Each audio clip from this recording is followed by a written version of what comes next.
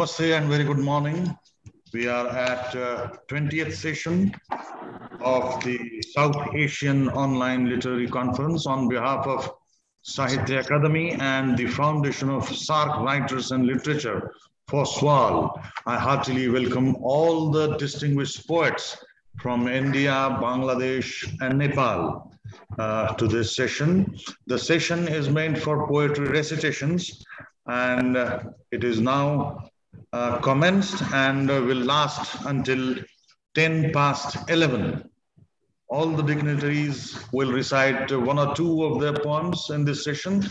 I welcome all of them yet again and uh, welcome also hearty welcome to Ajit Ma. She is with us and all through will be with us uh, in this session.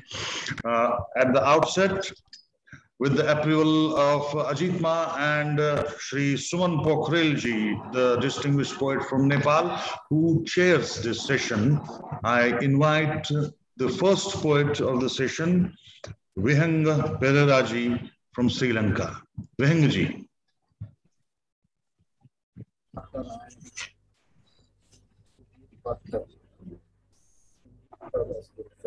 All right. Thank you. Thank you so much.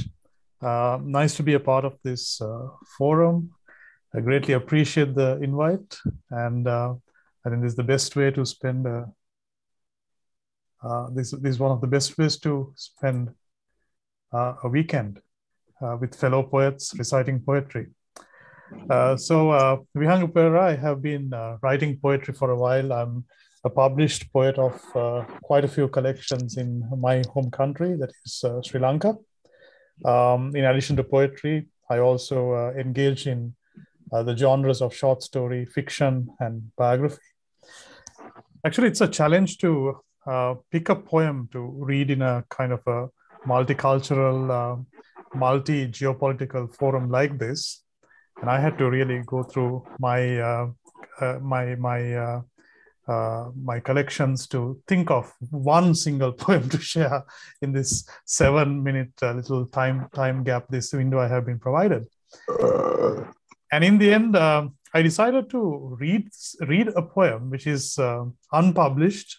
Uh, this is in one of the manuscripts i hope to publish hopefully next year. Next year hopefully will be a good year for poetry.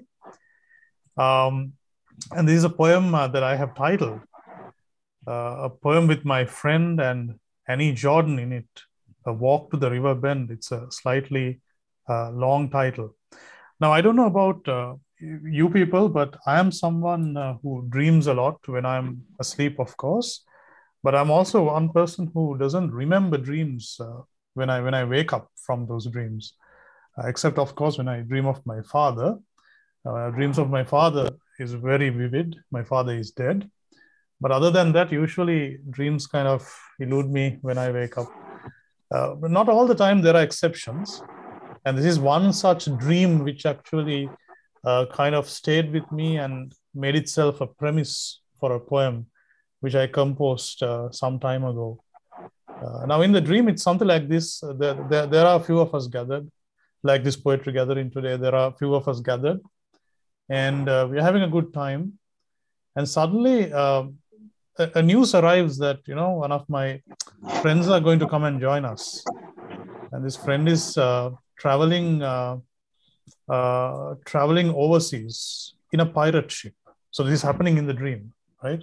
So he's coming in a pirate ship, and I'm supposed to go and receive him in a nearby uh, dock where he's going to disembark. Now, in this dream, there is uh, Annie Jordan. So Annie, if you meet Annie one day. And he's this very interesting person who never never shows emotions too much uh, but in very subtle ways. Uh, she's one of those people who very subtly lets you understand that you know uh, her feelings. So annie's there talking to others. Th- this is all in the dream okay? So and then annie says something like you know um, okay um, uh, maybe uh, i will join you for the walk up to the dockyard. And inside the dream I already understand that this is Annie's way of saying that she cares for me, not letting me go alone to meet these pirates and to receive my friend. So, a few years later, I actually wrote this very harmless poem based on this the, the memory of this dream, uh, which I thought I will uh, share because it's a it's a good enough poem to kickstart a session like this. A very harmless personal poem. So um, uh, the poem is titled uh, a, a poem with my friend and Annie Jordan in it. Walk to the river bend. In my more recent dreams, you're happy and content. And as the dream evolves and lives, you smile and share your banter, give opinion, contradict views. In one such dream, you joined me as I set out to welcome a friend who had bought a passage home from overseas on a pirate ship, soon to touch land by the river's bend. You assured all who were worried that the friend traveled with plunderers at sea, uh, laughing at that choice, but saying that that kind of trip was normal.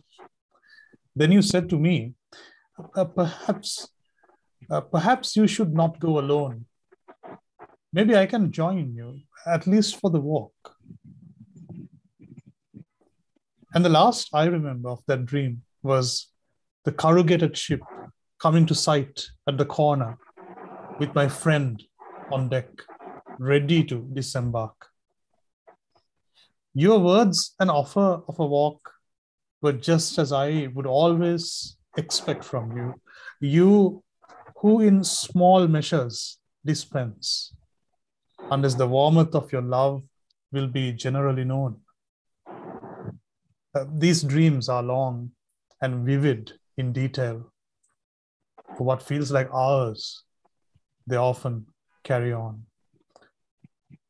Usually, I like to read my poetry a little bit faster. So, with your permission, I will give it one, a, second go a little bit faster, just for the kind of effect I want to have. In my more recent dreams, you are happy and content and as the dream evolves and lives, you smile and share your banter, give opinion, contradict views. In one such dream, you joined me as I set out to welcome a friend who had bought a passage home from overseas on a pirate ship, soon to touch land by the river's bend. You assured all who were worried that the friend traveled with plunderers at sea, laughing at their choice, but saying that that kind of trip was normal. Then you said to me, uh, perhaps you should not go alone. Maybe I can join you, at least for the walk. And the last I remember of that dream was the corrugated ship coming to sight at a corner with my friend on deck, ready to disembark. Your words and offer of a walk were just as I would always expect from you. You who in small measures dispense, unless the warmth of your love will be generally known. These dreams are long and vivid in detail. For what feels like hours, they often carry on. Thank you.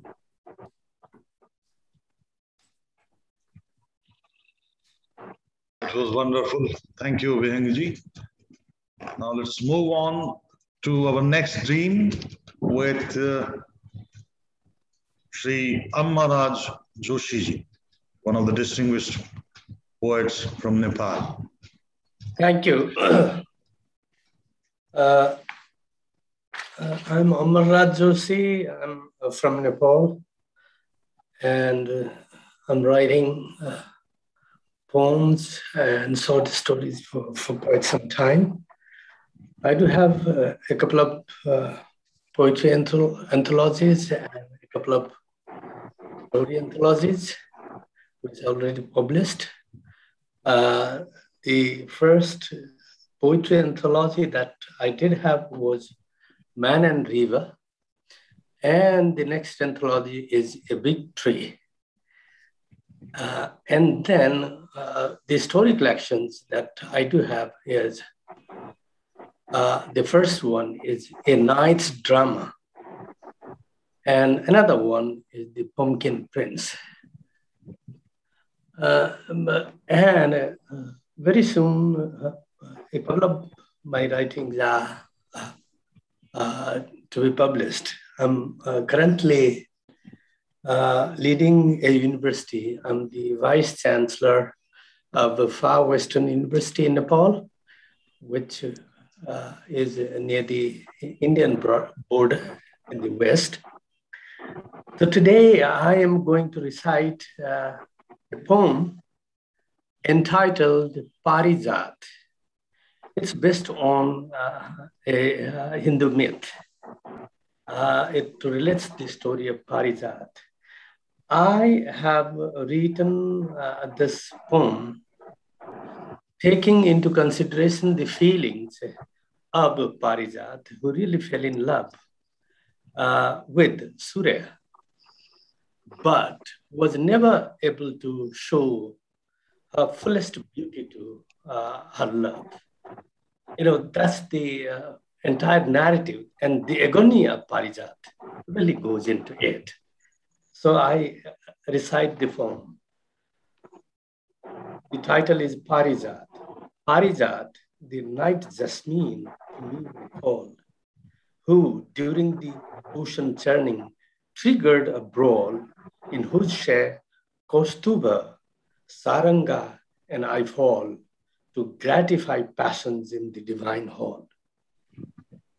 Indra, the king of gods, in his supreme guise, chose to plant me on Mount Meru in paradise, where with my flowers and fragrance could I adore Apsara's impassioned body and heaven's golden door. Enamored by my splendor, aroma, and nocturnal vogue, purloined me for Satyabhama, Krishna, the playful rogue. Equally enchanted and smitten, Arjuna, the disciple brave, pours my incarnation for Kunti in a mundane crave.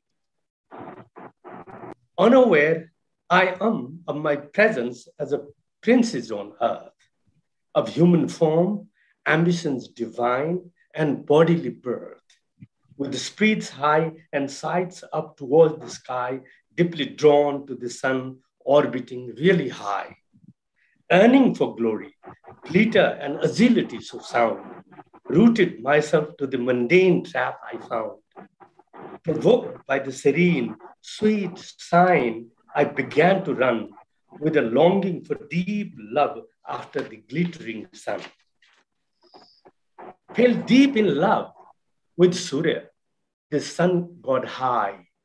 Damn, he cared my mortal anguish with a fire.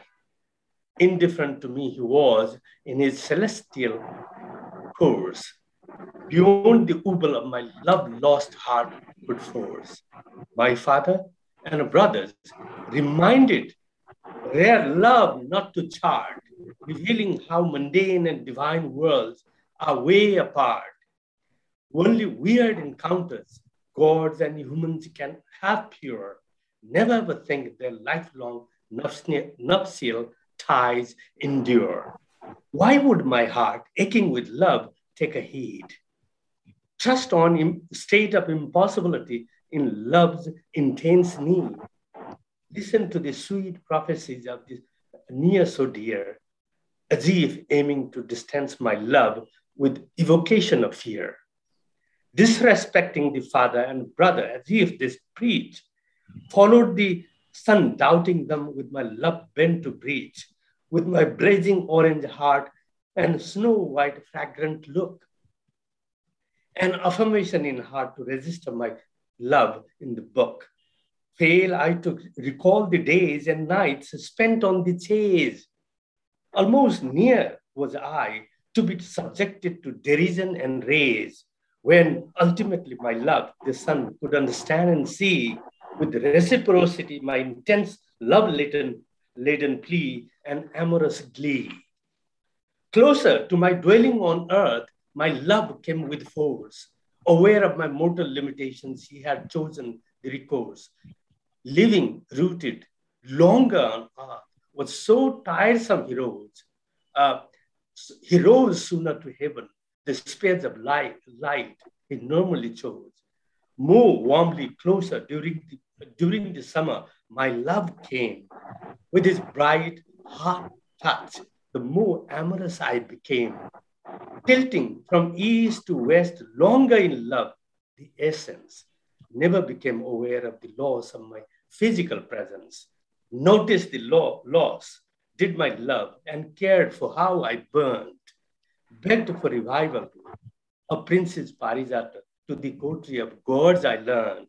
After intervention, incarnated I am as a symbol of love, a tree with snow white blossoms and blazing foreign heart soul. Ever since in disguise visits me my love every night. Ever since in disguise visits me my love every night, commands on my smiling blossom and fragrance his right. When he appears in the morning on distant celestial heights, I strip up myself of sweet fragrance and lovely lights. Love's a lovely thing. I profoundly trust. Yet its loss, lo- loss may make everyone rest. Would anyone think of the cost both I and my love have to pay? I have to abandon my beautiful attire as his, at, at his first ray, and he has to bear with my average presence in Thank you.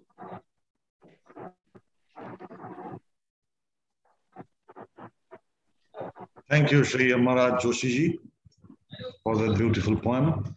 Our next poet is Dr. Anil Kumar Boroji, distinguished Indian poet writing in Bodo language, critic and translator as well. Anil Kumarji.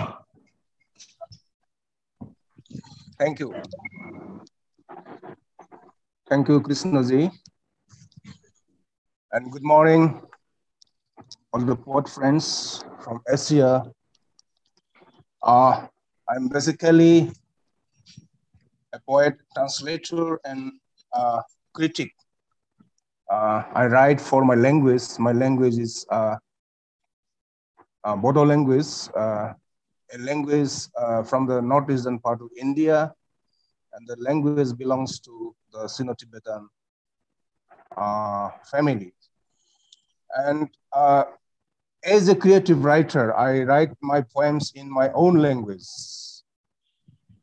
And I have also written some uh, short fiction and also fiction, long fiction, and mostly I write uh, critical essays and reviews uh, in my language, but I also write in my regional language, Assamese, and also I, uh, I write in English, uh, mostly um, the uh, research papers, articles, and critical reviews, and uh, I take interest in academic writings in folklore, culture, and uh, criticism.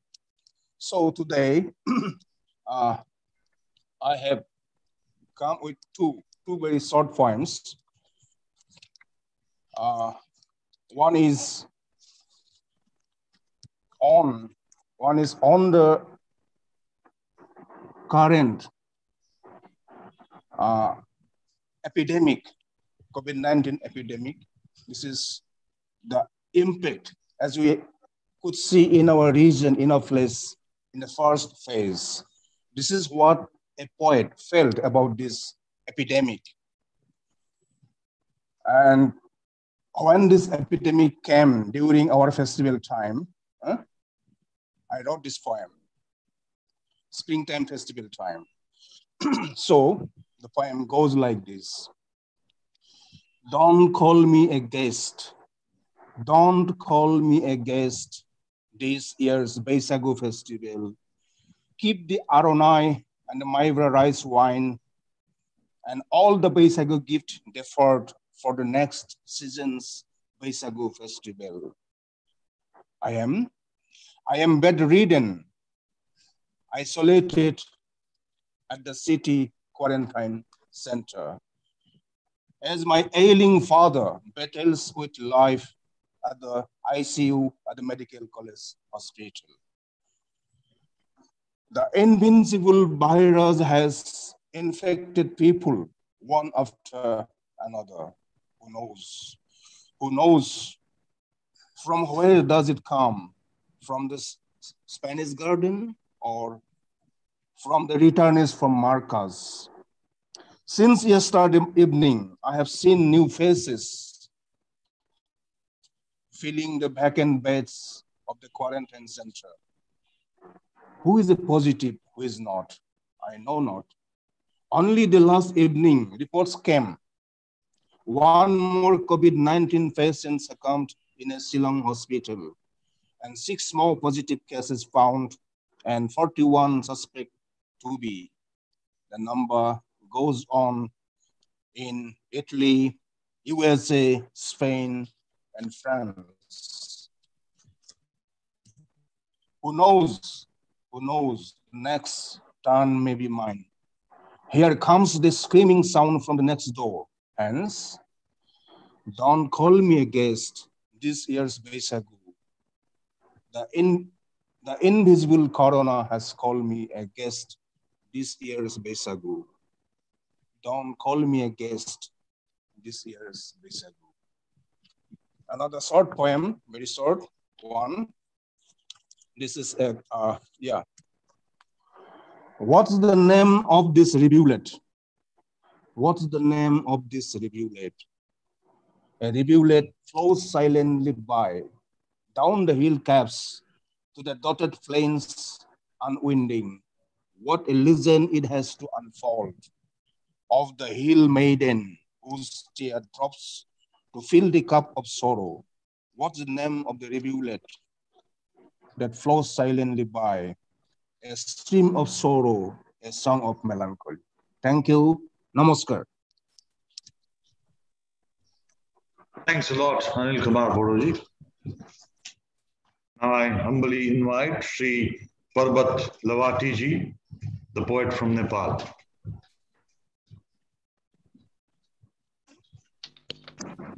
Hello. Uh, hello, everyone.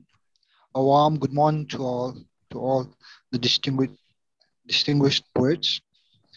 I'm very grateful to Ajit Kaur ma'am and Sahitya Akademi for giving me this opportunity to read out my few of my poems. Uh, I prefer to call myself more a student. I recently did my master's in arts from Central Department of English, Tribhuvan University. Now I'm currently, uh, I have been running my own literary web portal called Sabda Sopan. Uh, I also work as a writer in an advertising company and in the free time, I read and write. I mostly like to write poems and short stories. So uh, without wasting much of my given time, I would like to read uh, short two of my poems. And the first poem is uh, In the bus station with a Brahma Kumari. In the bus station with a Brahma Kumari. Sometimes when I be there, sometimes when I be there, I think of you in a light manner. I cannot recall your face, but I remember the stare of your eyes. You were in white something. But I remember the stare of your eyes. You were in white something. You had a long and healthy hair, but unusual. Sometimes when I'm changing the TV channels, sometimes when I when I'm changing my TV channels and arrive on Sanskar channel, I remember the badge you had on your chest of Sister Shivani. I remember the badge you had on your chest of Sister Shivani. What should I call you? What should I call you? Pure and beauty or pure and hapless? Sometimes when I see someone young in white, Sometimes when I see someone young in white, I think of you. I think of you. I cannot recall your face, but I can still see the Vipassana charged eyes. But I can still see the Vipassana charged eyes that looked at me long and softly, almost like the look of a ketki, unpicked, unoffered, and cursed. Thank you. Um, now the second poem is, uh, this is titled A Layman Looking Over Kathmandu. And uh, I wrote this poem in the uh, beginning of pandemic uh, when it was lockdown in all over Nepal. And when people from Kathmandu, the workers were leaving Kathmandu. So in this poem, I'm trying to encapsulate, encapsulate uh, the feelings of a, a, worker or a layman. So a layman looking over Kathmandu. I would have no pleas to you. I would have no pleas to you if only I had rations to sustain a week or 10 days more. I would have no pleas to your governance if only for a month the landlord had spared me the rent. I would have no pleas to your governance if only for a month the landlord had spared me the rent. My heart wouldn't have stiffened to this. My heart wouldn't have stiffened to this if only for months, two, three, had the creditor trusted me with little loan. For the opulent and having goods, this time has become an opportunity for learning to prepare variety of dishes, to test their culinary skills. The aroma of cheese, mutton, jimbu, the aroma of cheese, mutton, jimbu keep entering through my window pane. At times like this, at times like this, if my children could act stubborn at their mother, at times like this, if my children could act stubborn to their mother instead of acting to not care, instead of acting to not care, instead of acting so old soul at so early age. If only the thought, if only the thought, why did I marry this man hadn't come to my wife. If only the thought, why did I marry this man, hadn't come to my wife. At times like this, if only my country had kept its arm. At times like this, if only my country had kept its arm on my shoulder and said, I'm here for you. I'm here for you. My heart wouldn't have been a corpse to you. My heart wouldn't have been a corpse to you. I hadn't come to Kathmandu I hadn't come to Kathmandu carrying the hounds of dreams. A layman I am, an abatement in potatoes, rice was all I had wished for. 10 years I lived in Kathmandu. 10 years I lived in Kathmandu. 40 years I lived in this country. Yet, drifting desert further it is. Tell me, tell me, how should I take it as my own country? How should I take it as my country?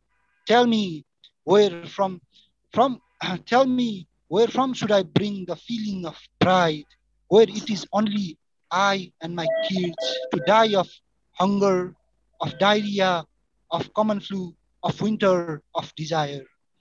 For the first time, for the first time from Thankot, I stare at your city. For the first time from Thankot, I stare at your city. Someday, if anyone rises up against your dry heart, someday, if anyone rises up against your dry heart, if I'm able, if I'm able, I myself, if not to this son, I myself will hand him the stone. I myself will manage him the fire renaissance. Thank you.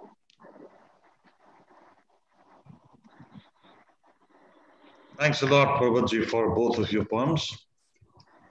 Now let us invite our next eminent poet from Bangladesh, Sri Bhagyadhan Baruaji. Thank you very much. Suprabhat, good morning, respected chair and respected participants. Greetings from Bangladesh. This is Bhagyadhan Barua, my home district in Coxbazar, where located the longest beach of the world. I sincerely invite all of you to visit in Bangladesh so to see the beautiful scenery of beach of Coxbazar. Professionally, I am physician, specialty in child health. I have six book of poems. I would like to express my gratitude to Sahitya Akademi and first FOSWAL to invite me such a prestigious platform. And also express my gratitude to Ajit Kaurji ma'am to invite me in this program. Now I am reading my poems. The title of first poems is Mirror Has No Reflections. Faces are changed with the change of mirrors. Life stories starts from the end of the journey. As much anticipation was there, expectation or there too, sensibility or affection, whatever you may call. If the bewitched darkness might be fabricated sadness, then I should tell you my unspoken words were very much cognizable of you. There was into my mirror the rainbow skyline. There was into my distress those of yours. There was into my sensibility to escape the eyes we are now at face to face, borderline. Few was directly, there is a margin of ocean. If you step back, the increment of distance only, the revolving sphere seems a domestic pendulum surrounding the central axis orbiting all over. If I reflect my full image on the mirror, I have no shadow, no reflection, just diverse the center. The title of my second poem, I am reading in my own language, Bangla, then translated in English. The title of poems, Guerrilla. This poem is dedicated to the freedom fighter of Bangladesh Liberation War, 1971. Guerrilla রাতের নিসঙ্গ পথে আমিও শরণার্থী হাঁটি যশো road ধরে পিঠে সংসারের জোড়া পিছনে কুয়াশা বেড়া সামনে অষ্টবিন্দু যেতে হবে যাই বুকে বাঁধা স্বপ্ন বীজ মাইল ফলক নেই, খাল, বিল, নদী, পাহাড়িয়া পথ। কত দূর? যাব কই? জানি শুধু যেতে হবে। ছেড়েছি ঘরের মায়া, বেড়েছে বুকের বল, হয় মুক্তি, নয় মৃত্যু। এর বেশি কিছু জানি না আর। সীমানা বানাতে যারা পথের মিছিলে ক্ষুদা কষ্ট, শীতের কাপুনি, ঝড়ের ঝাপটায় পুকুর পাড়ের তাল গাছের মতো দাঁড়িয়ে থাকে, নজর নেই তাণ্ডবে। জানে বৃক্ষের সাধনায় বাঁচার মতো বাঁচতে চায়। পথ জানে কত দূর হেঁটেছে গেরিলার দল। নদী জানে কত রক্ত ধুয়েছে বুকের জল। অরণ্য জানে কতজন লুকিয়েছিল শীতল পাথরে। মা রূপ বুঝি পাজরের ডাক, চোখ জানে প্রশ্রবণ ধারা, অন্ধ আদরের খালি হয় মুক্তি, নয় মৃত্যু, এক বেশি কিছু জানে না আর। Guerrilla, I am also refugee in the lonely port of night. I walk through Jessore Road, hanging the worldly burden on my back. A foggy wall is at my back, and I speak of hope in front of me. I go as I, I have to go. A seat of dreams in, is hidden inside my heart. There's no milestone. How far I have to go? Crossing field, river, canals, and hilly routes. Where is my destination? I don't know. I know only that I have to go. I have left the attachment of whom My heart has become stronger. Either freedom or death. I know nothing more than that. Who have joined in the position to build up a frontier? Who has stand on the bank of a pond like a palm tree, braving hunger, pain, agony of cold, cast of a stone? Who don't care the rampage?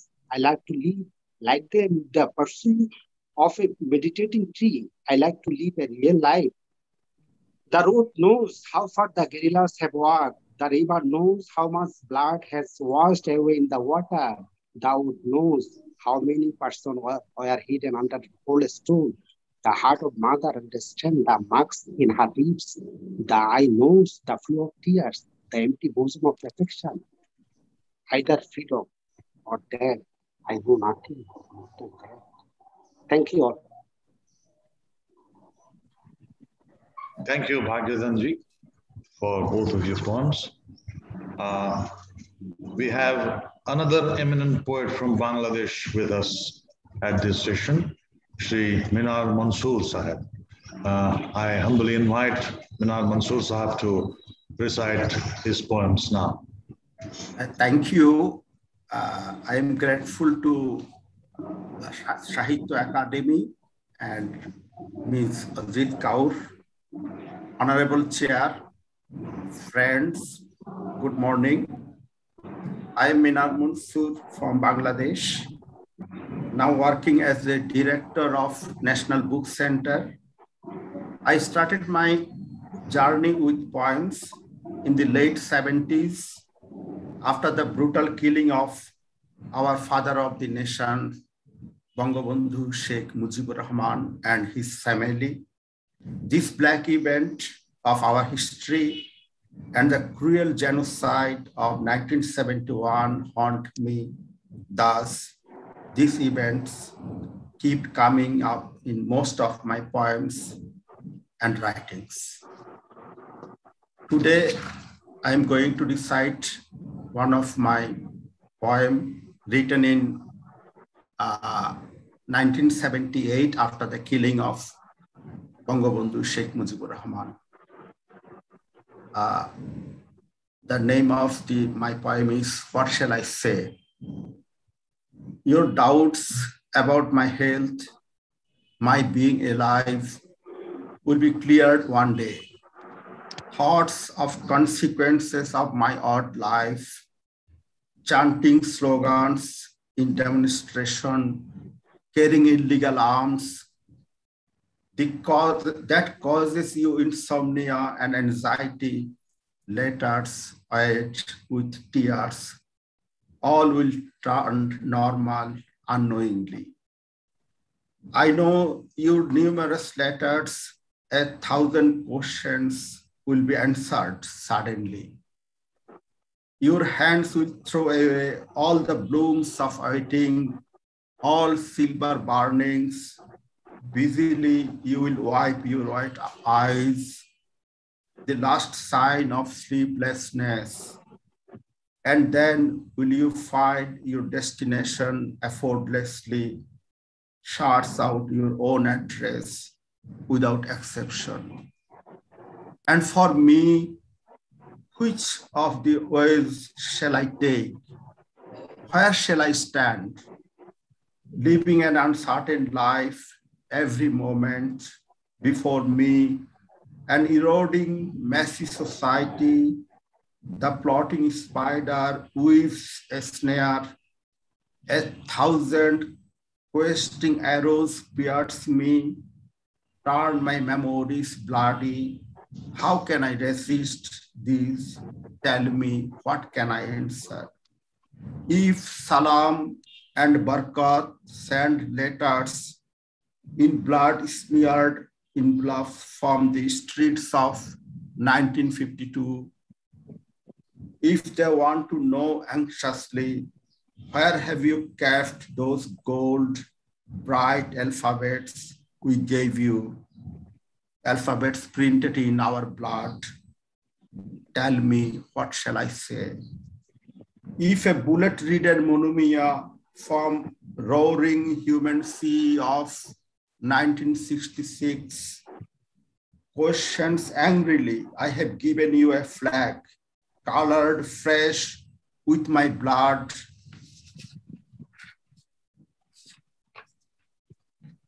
Where you have kept that crimson flag of equality, tell me, how will I answer the, him? If the freedom fighters of 1971 their lion roads, all an encompassing sand and ultimatum in their dazzling scalp envelopes, all our love, our freedom, daubed with youthful warmth, our constitutions, written in our sister's honor and brother's blood, we put in your safe hands. Where is that love? Where are those sacred beliefs? Where have you preserved them? What will be my answer? If the shining masses of 75, not men, women, children, but courage incarnate, come down silently at the dead of night from the pretty frames hanging on the wall, knock at our doors, or shout out to break the silence of the radio at midnight. We had a dream, horizon stretching, and we had the ever dreaming, sorrowful people where are those bright horizon reaching dreams? Where are those bright horizon reaching dreams? How are they, our wretched people? What will be my answer then? How would I tell them about this powerlessness, these scenes, these self-annihilating games of war we play? Thank you, everyone. Thanks a lot, Minar Mansoor Sahab, for your poem. Now we come to the chair of this session, Sri Suman Pokhrelji, the distinguished poet from Nepal. Sumanji. Thank you. Uh, I would like to thank FOSWAL and Sahitya Akademi for giving me this opportunity. Uh, I don't want to take more time because next session is going to start very soon. Uh, and I to tell about me, I am a lover of poetry and addict of life. Uh, uh, for my writing, uh, uh, two of the universities in India and two universities in Nepal have um, put my poetry in their syllabus of masters uh, of uh, masters course in uh, literature uh, uh, and some of my poems are translated in other some languages if we count, uh, it is about 12 or 13 languages, but not in form of book. Uh, individual poems uh, have been uh, published uh, in those countries in different languages. Uh, now, other, um, this is a time, very easy time that we can Google anything and can know uh, very much about what we want to know about. Uh, now, now I would like to recite one of my poem, um, The Benefit of Poetry. Uh, it has been translated into Kannada and Italian also. And this was originally written in Nepali. Uh, I think it was written in 1999 and it has been translated into other languages uh, later on. Uh, now I would like to recite the poem uh, Benefit of Poetry. I have two poems in this title, and this is one of them. This moment, my mind is bereft of poetry, yet I want to write nothing but a poem. Out here are books and magazines asleep, carrying the entire world in them. And standing there are walls and windows staring at me. And leaves of letters here about to go melting, quite like the heart itself. And photographs lost in themselves as if they are thinking of someone. At this moment, everything is present here except the things that are not here, and I am not feeling like disturbing them. I am in no mood to write a candle or radio, nor am I willing to write table, pen, and paper. I want to write but a poem. On this globe of art, there is no time to go to school, quitting crushing stones into graves. There is no enthusiasm to think, laying the hunger down. There is no patience to speak maliciously, giving up slogans and processions. There is no need to wear a single thing, taking politics out.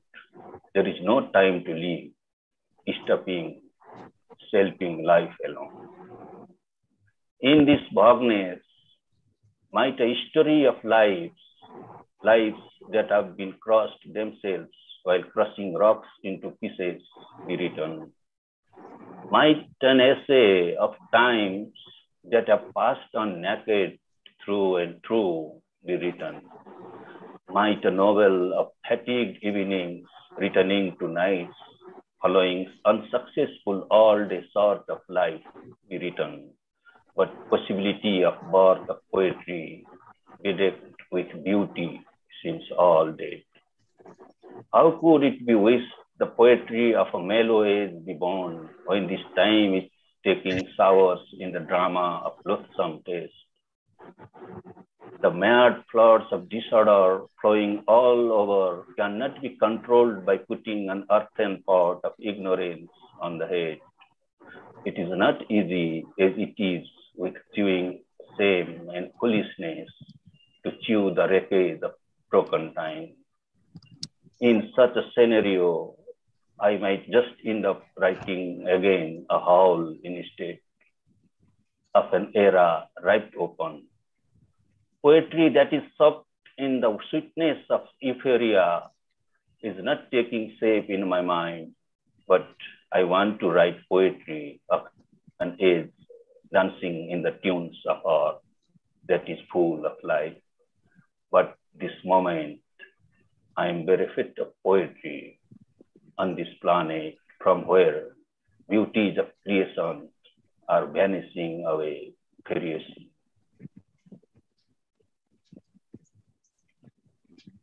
Thank you. Mm, this was my poem, and now I would like to thank all of the participants of this session, uh, and again the Sahitya Akademi of India and FOSWAL um, for this program and this opportunity.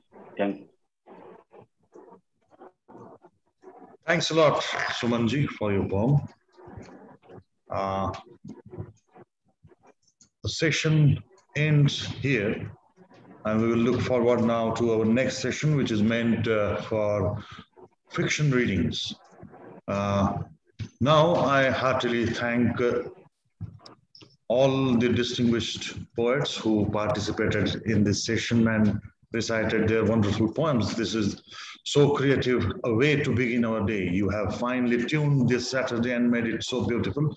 Thanks a lot. And as all birds come together to their nest, all we together come to thank Ajit Ma for being with us all through.